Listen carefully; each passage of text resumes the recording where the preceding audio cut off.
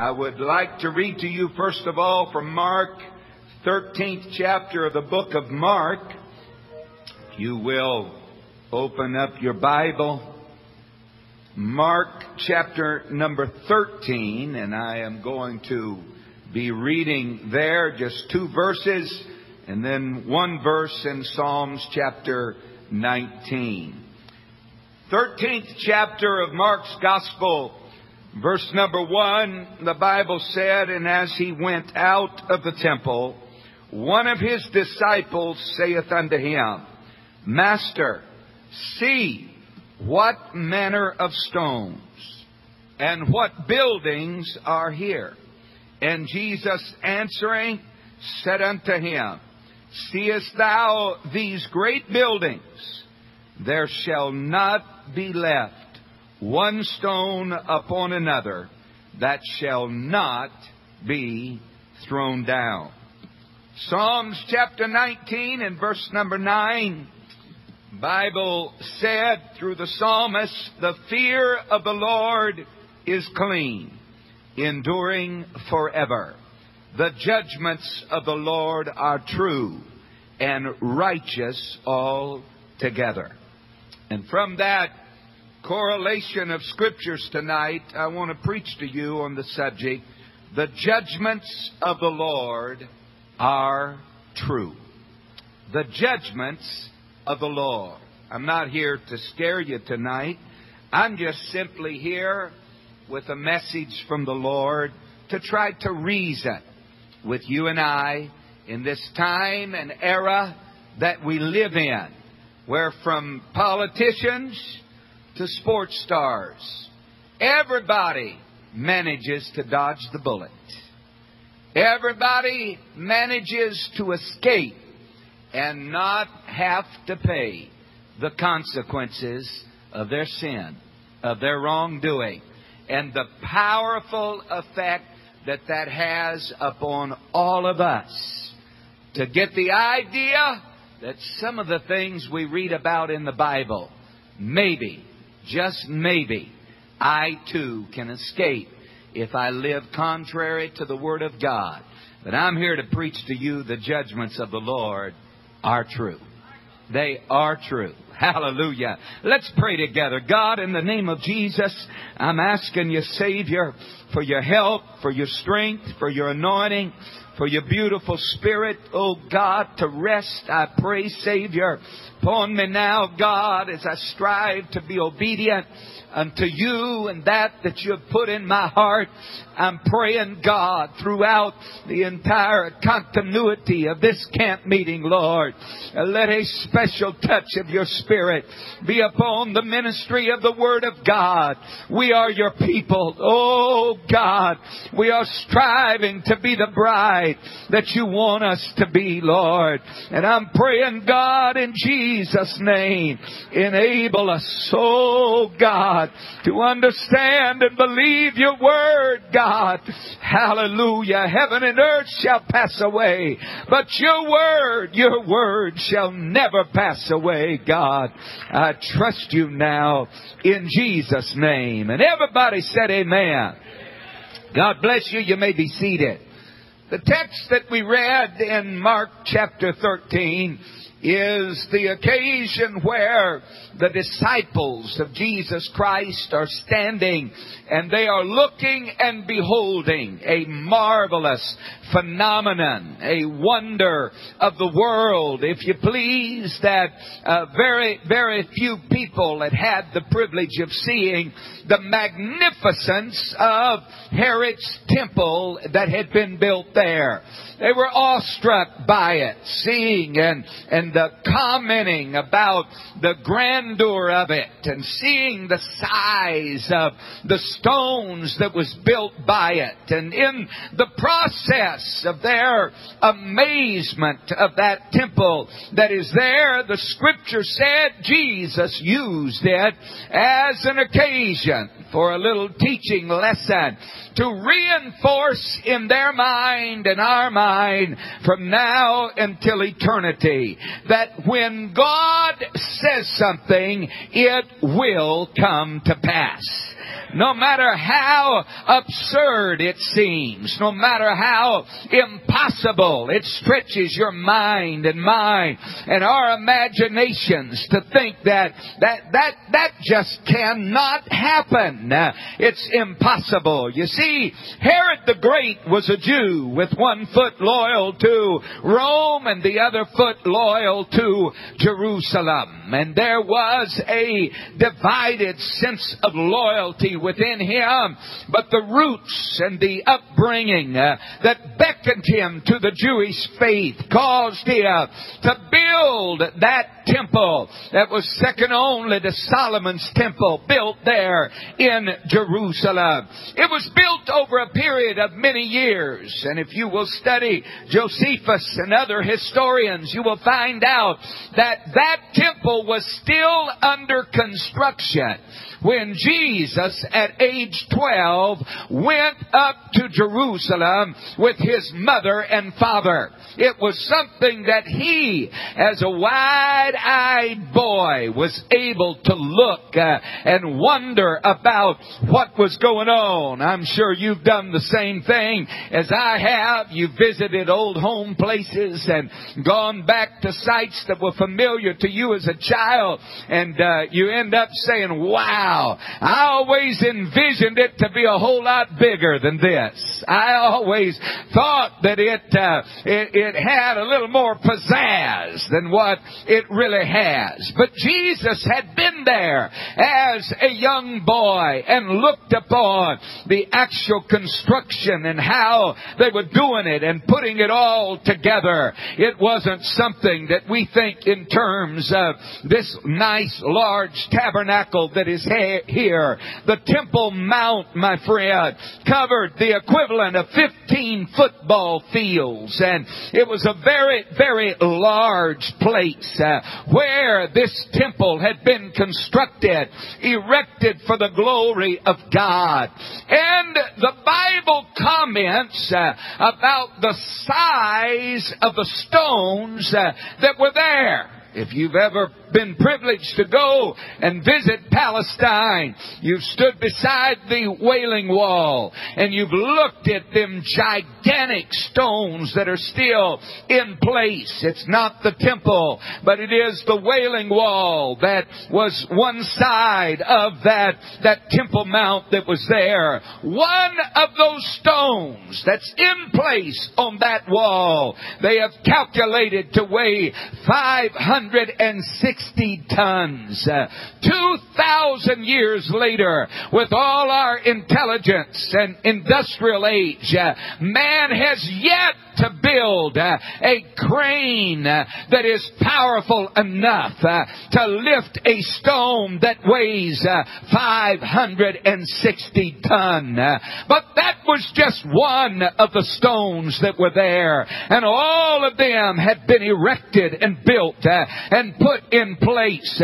And they tried to explain how they think that it was built and how they think that they got the stones all in place. But it, it doesn't take a rocket scientist to figure out uh, that it was an amazing spectacle uh, to stand beside those stones uh, and wonder how did this happen? How could something this magnificent uh, have been built uh, and they're virtually immovable? Uh, the Wailing Wall has stood through 2,000 years uh, of earthquakes and other natural disasters that have come uh, and not budged one of those stones. Uh, that's why it makes the pronouncement of judgment that Jesus made to that temple seem utterly impossible. Uh, he looked at them, mouths gaping, uh, and he said, Boys, if you think this is something, uh, he said, Let me pronounce a judgment of the Lord that is going to come upon this temple. He said, It's coming, and not one stone is going to be left upon the other. I'm sure they gulped, swallowed hard a few times, and said, Earthquakes can't budge these stones. Nothing that we know of has the capability of knocking these things over. And you are telling us that not only is the temple going to be broken down, but it's not going to be broken down like all of the other ruins and antiquities that we have seen where there's part of a wall left standing. Where there's part of a structure that's there. You, you mean you're telling us Jesus. You're pronouncing that judgment. Uh, that when that day comes, uh, not one of these stones uh, are going to be left on top of another. Uh, he said, that's right. They spoke back uh, and said, how can these things be? How in the world uh, could anything like that uh, ever come to pass? Uh, we, we, we, we don't want to doubt your word, Lord, uh, but we, we cannot rationalize how that a judgment of that magnitude uh, and that severity uh, could ever come that would move these stones like they were dominoes and scatter them all over the temple grounds. Let me tell you, friend, you and I would do ourselves a favor if we would get inside of the Word of God and study every place in that Bible where God pronounces a curse. Amen. To get our nose in that book uh, and say, God, I want to read it. Uh, I want to study it uh, because if I can't comprehend it uh, and it boggles my mind, uh, I've still got proof in the Word of God uh, that the judgments of the Lord are true. and if you said it, brother, look out. That settles it. it is going to come to pass. when when God wanted to train the children of Israel uh, about the blessings and the curses of God, uh, He took them out and divided the tribes, uh, put half at Mount Ebal, put the other half over at Mount Gerizim, and there in the book of Deuteronomy, uh, amen, He uh, explained to them uh, about the curses and the blessings of the Lord. I'm not here to preach to you a negative message, I want to tell you those blessings of the Lord are equally true. Hallelujah. If God said it, uh, you can go to the bank on it, friend. Uh, hey man, you do that uh, and the Almighty God is going to bless you. Uh, but we've gone to seed in Christianity today uh, with the prosperity doctrine uh, and all of the blessings, the blessings, the blessings that are promised to be fulfilled in our life. Uh,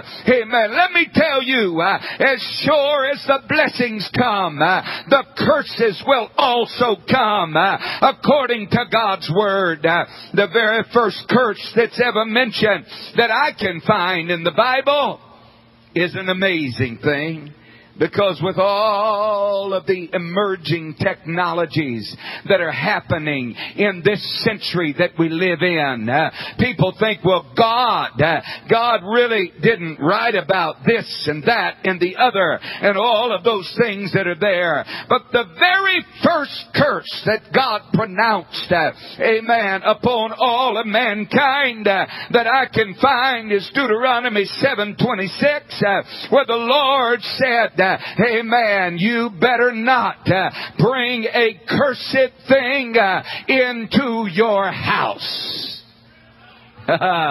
Whoa, what a God.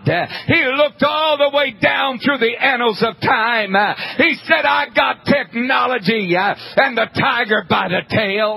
Nobody is going to get ahead of me. I know what I'm talking about. He said, you bring a cursed thing into your house. He said, the problem is that you will become just like it.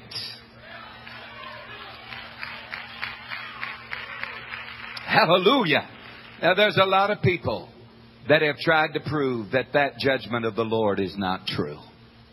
There's a whole lot, amen, of oneness, apostolic people that have tried to dodge that bullet uh, and thought they got by with it successfully, uh, of saying, I can do it uh, and keep from becoming uh, just like it. Uh, let me tell you, friend, uh, some of you are getting the shocks of your life, I'm sure, and in living in settings like this, other than California where I live, where now all of a sudden you're seeing, uh, amen, that it's suddenly so popular for guys to wear earrings uh, and to walk around with them in their ear. Uh, hey, just 10 years ago, uh, amen, you would not see that. Uh, amen, that was something uh, that was way out of limits. Uh, you know what happened about 10 years ago? Uh, amen, the cursed thing that had been brought into the house.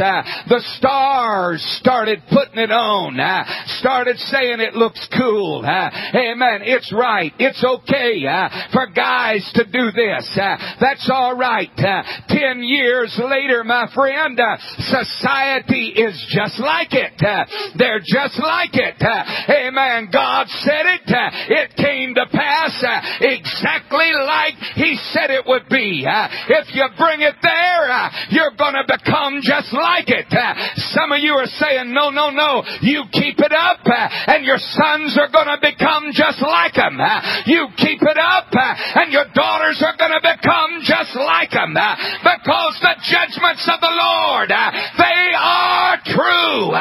You might not understand how it happens. But God said that's how it happens, friend. It's a curse from God. It's a judgment from the Lord. You will become just like it. You think homosexuality is bad now? You think lesbianism is bad now? Uh huh. Hang around. If the Lord doesn't come in the next 10 years, they're just now introducing on the tube, amen, open mouth kisses, amen, between two lesbians, between two homosexual men. Stick around my friend. Uh, those that want to keep trying uh, to disprove God's curse, uh, amen, 10 years from now, amen, they're going to be just like them. They're going to be just like them. Amen. It's going to happen exactly the way that God said it was. Hallelujah. Hallelujah. Hallelujah. I'm telling you, the judgments of the Lord are true. Hallelujah. They are true. Uh, amen. The Bible teaches us, uh, cursed be the man that doeth the work of the Lord deceitfully. Can I tell you, God hates a hypocrite.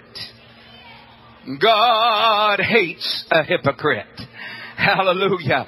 God has mercy upon sinners, uh, but God promised cursings uh, upon the hypocrite. Uh, why, why are you saying this, Brother White? Uh, because our churches today uh, are full, uh, are full of people that have seared their conscience to the place, amen, that they know they're living in sin. they know that they've committed immorality. Uh, they know the actions, uh, but yet they'll still uh, come up on the platform uh, and sing and play and participate uh, in leadership. Uh, amen. I promise you, friend, it ain't me that wrote that curse. it's the Almighty God that said, Cursed be the man that doeth the work of the Lord deceitfully. hallelujah. I try to teach it in my church at home. Uh, amen. Uh, and, and I'm sure it, they don't all obey it, but I try to teach it to them. Uh, amen. That if there's sin in your life, uh, amen, you'd be better off going through uh, a nuclear power plant uh, with a leaking, amen, reactor and exposing yourself to the sure judgment uh, that that radiation would be uh, than for you to keep on singing in the choir with sin in your life, uh, than for you to keep on being an usher with sin in your life, uh, because the judgments of the radiation uh, are only temporal, uh, but the judgments of God, they are eternal, and God promised a curse upon anyone anyone, anyone that was bold and brazen enough to do the work of the Lord hypocritical. Amen. Oh God, we, we need a revival uh, of the fear of the Lord in our midst. Uh, we need a revival, uh, amen, of exceedingly trembling like they did at Mount Sinai. We need a revival, amen, like the elders at Bethlehem, trembling when Samuel came walking up to the gates of the city. we need a revival of understanding that the judgments of the Lord are true. They're true. They're true. They're true. You can't hire a big enough lawyer to get you off the hook. You can't hope to persuade the jurors. There is no jury system with heaven. Uh, amen. Off on some glitch uh, or some technicality. Uh, friend, this black back book uh, is forever settled in heaven. You're not going to mock it. I'm not going to mock it. We're not going to get by with it. But there upon Mount Ebal, he gave to them the curses of Deuteronomy 27. Amen. He promised them a curse if they involve themselves in idolatry. He said, I'm telling you, if you get to worshiping other gods, even in a secret place, God said, I'm going to bring a curse upon you. It's coming your way. You mark it down. Amen. Oh, thank God for pure apostolic young people. Uh, amen. That their idols are not movie stars. Uh, their idols are not sports stars. Uh, their idols are not, uh, amen, the things of this world uh, that involve them in idolatry. Uh, thank God for that. thank God, amen, for elders among us that their idols are not money. It's not bank accounts. It's not the greed of this world. It's not the things because there's a curse that God promised would come your way and my way if we involved ourselves in idolatry. He said, chapter 27 of Deuteronomy, verse number 16, he said, There's another area of curse that I don't want you to forget about. He said, and that is a curse for those that disrespect their parents. Can I preach to you just a little bit? Can I preach to you just a little bit here? I, am not just talking to children here. I'm telling you, the plague of this uh, goes all the way through the 20s and the 30s uh, and into the 40s nowadays. Uh, and I even know people in their 50s uh, that are so disrespectful uh, to the honoring. Let me tell you, friend, uh, that's one of the ten pillars that the whole thing is built upon, is honoring your father and your mother. Amen. but the Lord Lord said in chapter 27, uh, verse number 16, uh, He said to them, Cursed uh, be he that setteth light uh, by his father or his mother, and all the people shall say, uh, Amen. We're living in a terrible, terrible society where the national heroes are Bart Simpson and Beavis and the other dingbat that want to do their very best uh, to show how disrespectful uh, you can possibly be uh, toward your mom, uh, toward your dad, uh, how much you can mock them, uh, how much you can make fun of them, how old fashioned in the dinosaur era that they live in. oh, you better be careful. Amen. This generation uh, doesn't understand this Bible. This Bible said uh, you got a curse coming down the pike uh, if you make light of your mother or your father. God said, I, I'm gonna curse you. It doesn't matter if mama heard you. It doesn't matter if daddy heard you.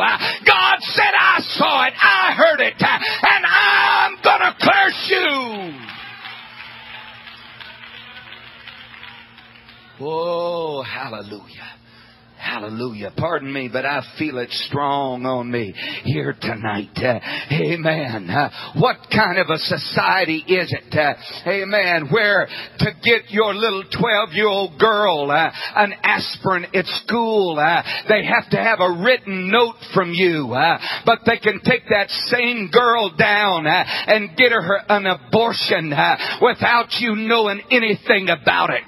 what kind of a mess are we in? This Bible teaches us, uh, amen, to honor uh, our father and our mother. Uh, that word means they're the heavies in our life. Uh, they're the heavyweights. Uh, I'm telling you, when it's time uh, for you to choose a college, when it's time for you to choose a mate, when it's time for you to choose where you're going to live, your mother and your father, according to the Word of God, are to have heavy influence in your life. But you think you've got by with it.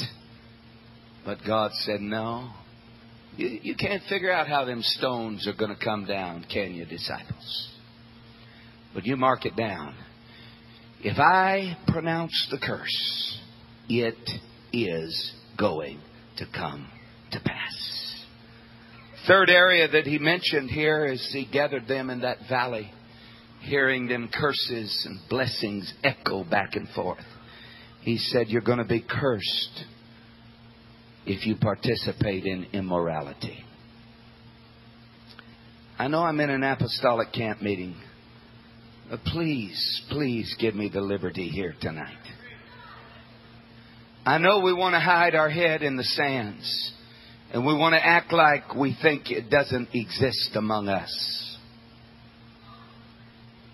I, know we do, and I'm not here, amen, slamming anybody. I, I'm preaching the burden of my heart here tonight, uh, amen, on this first night. Uh, there is a God that pronounced uh, a curse on anyone, uh, a teenager, a married man, a married woman, uh, anyone that involves himself uh, in immorality. The Almighty God said, whatever type of immorality it is, mark it down. Uh, there is a curse that is coming your way. Uh, I know society uh, has told you there's ways around all of that. Uh, there's ways around all of that. Uh, and they educate our kids uh, about birth control in the sex education classes and agenda that they have. and they teach them and pass out condoms and try to convince them that that's a way around the curse. let me tell you, friend. Uh, it might help protect you, uh, amen, from STDs uh, and from AIDS uh, and from unwanted pregnancies. Uh, but God said, I'm telling you, uh, there ain't nothing, there ain't no method, there isn't no device that you can find that's going to protect you from the curse. I said the curse is coming. I promised you a curse upon you if you involved yourself in immorality. Your bodies are the temple of God. You are dedicated and consecrated, my separated people. And if you behave like the heathen do, regardless of all of the tricks that you thought you did that protected you, and cause you to escape from being caught, there is a God in heaven that still pronounced the curse. And he won't be outfoxed. He won't be outsmarted. Not by you, not by me, not by any other human being that's alive on the planet. He is the sovereign God. Oh, what are you saying, Brother White? Uh, I'm just trying to drive. I know for some uh, among us it's too late, uh, but I'm trying to drive it in the hearts uh, of those, uh, amen, that have gone to the boundary of immorality and hesitated and thought, can I do it and get by with it? can I do it and get by with it? can I do it and toyed with it and played with the idea? I'm here to scream at the top of my lungs to warn you, please don't don't. Uh, please don't, sister. Uh, please don't, brother. Uh, you will not get by with it. The judgments of the Lord are true. They're true. They're true. Your daddy may not have followed through with all the whippings he promised you. And you might have got around your mama on several areas of discipline in your life. But they're not God. And God said, My judgments are true.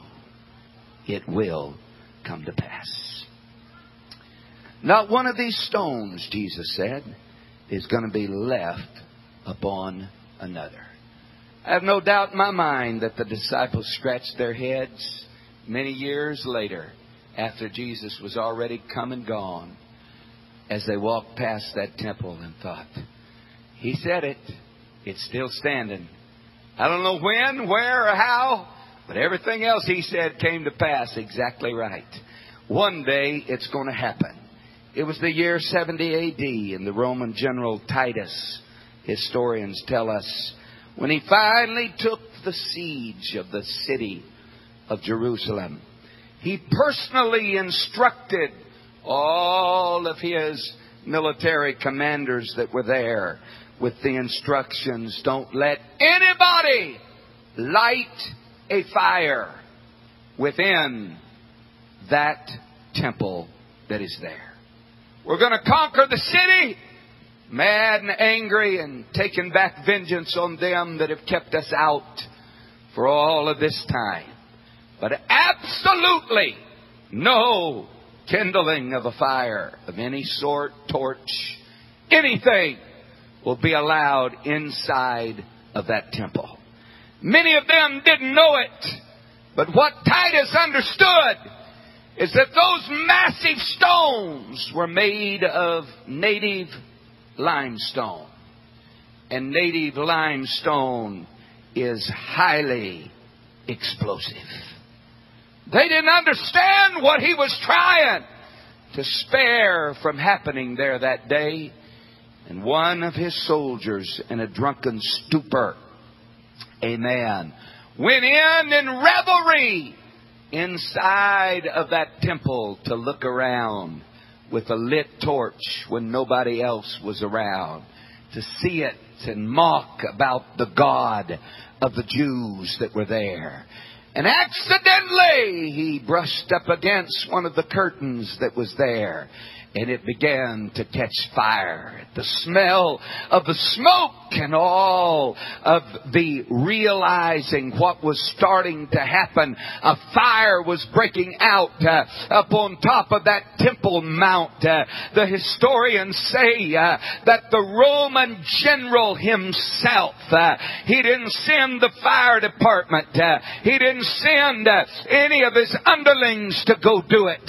he himself ran to the temple uh, and tried frantically uh, to beat down uh, the flames that were there, tried to put out the fire, uh, but it was racing, getting away from him. Uh. He knew the inevitable that was fixing to happen, uh, and so he ordered all of his men clear out, not only out of the temple, but completely off of the temple mount. get out, get as far as you can.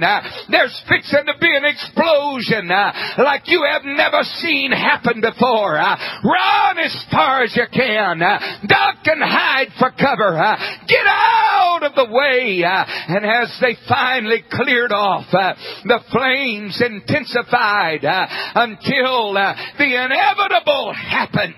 it was the equivalent to a small nuclear explosion that took place inside uh, of the walls of that temple that day. Uh, and true to the Word of God, uh, those stones that no man uh, or no crane uh, or nobody, no earthquake uh, could budge.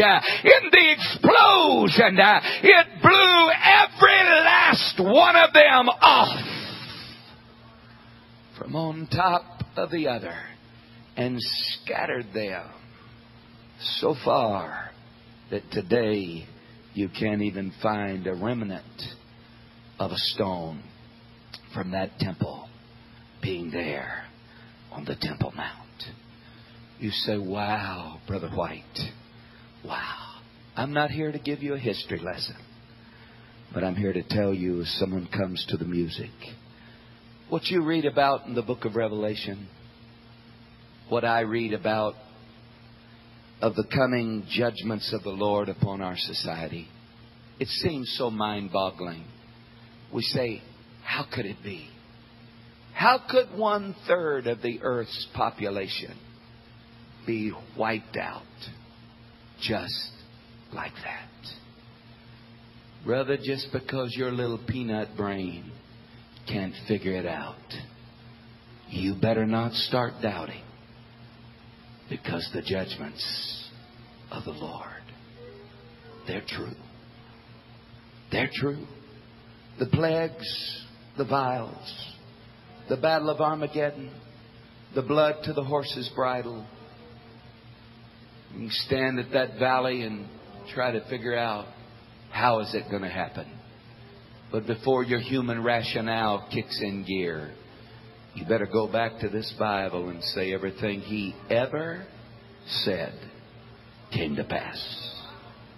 Every judgment he ever pronounced happened exactly like he said. Here we stand, the last camp meeting, the 1900s. Here we are looking, peering into the unknown, trying to figure out what's going to happen, what's coming upon our world. Is it really, or are things just going to keep going on like they've always gone on?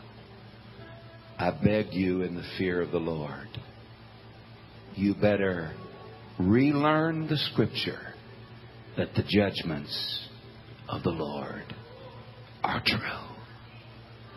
It's going to happen exactly like He said it. Let's stand together. Maybe you're here tonight, this first night of camp meeting. Say, Brother White, have you come to try to hang me over hell and scare me? No. No. I've come to tell you that there is a merciful God that is waiting around these altars.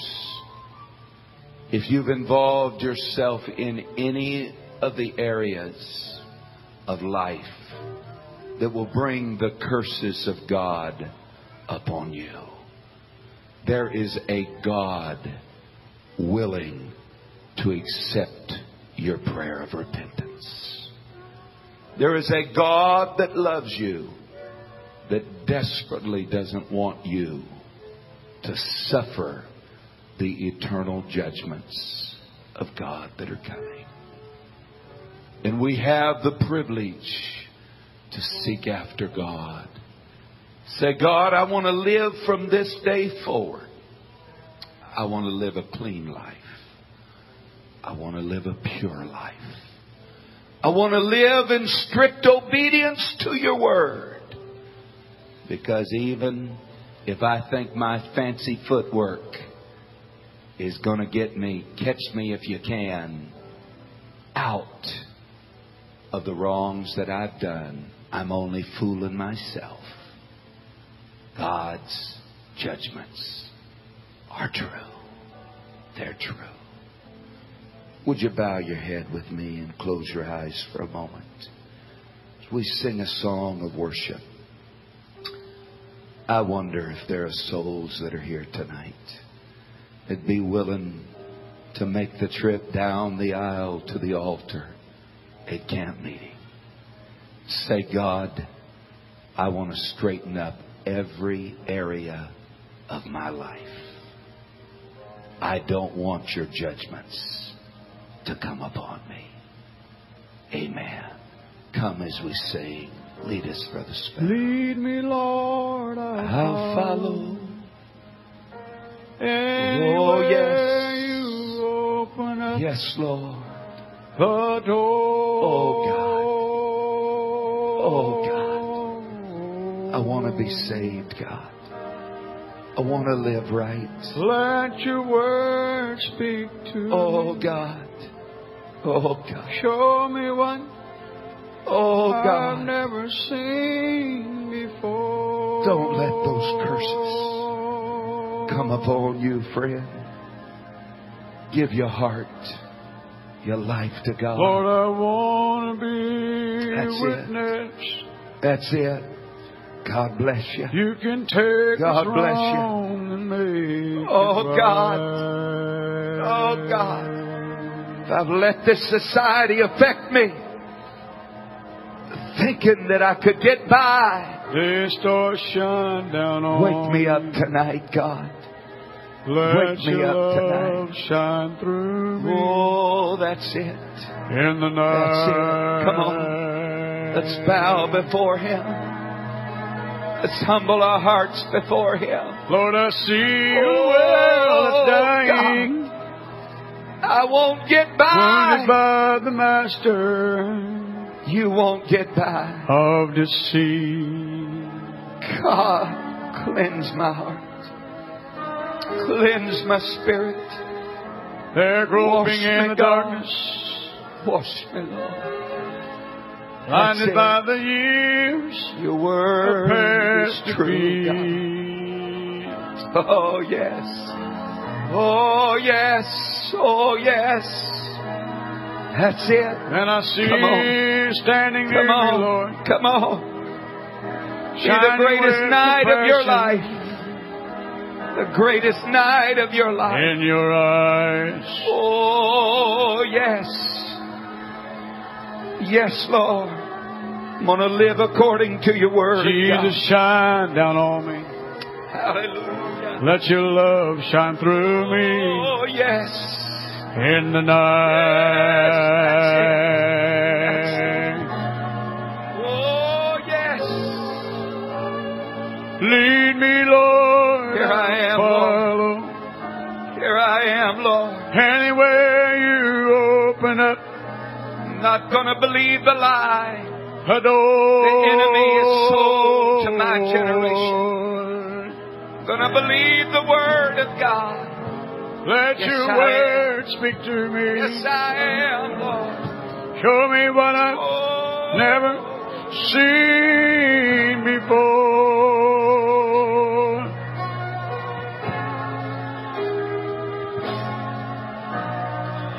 Lord, I want to be a witness.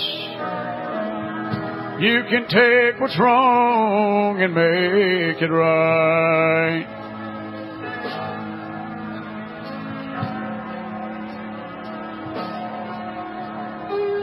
They start shine down on me. Let your love shine through me in the night.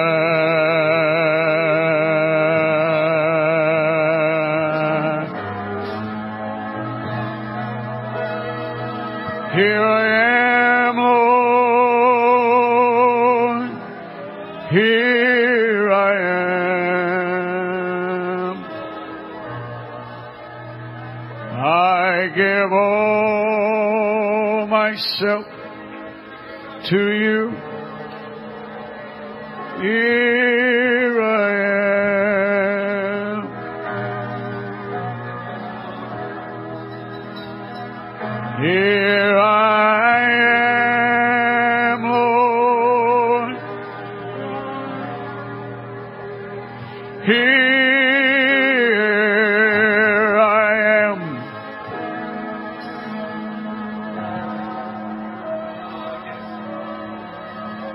Let your spirit move within me.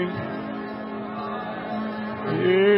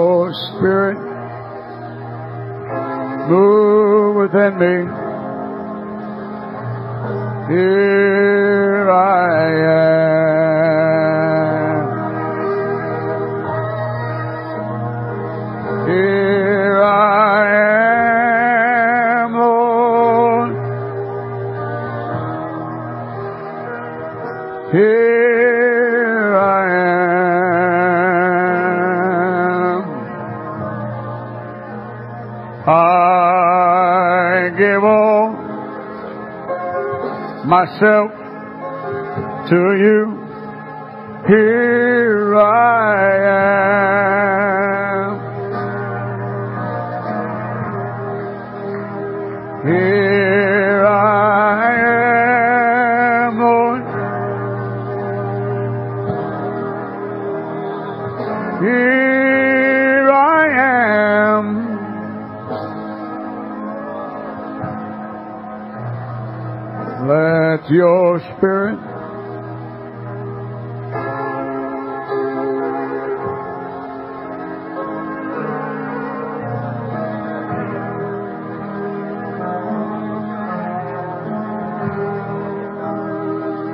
Here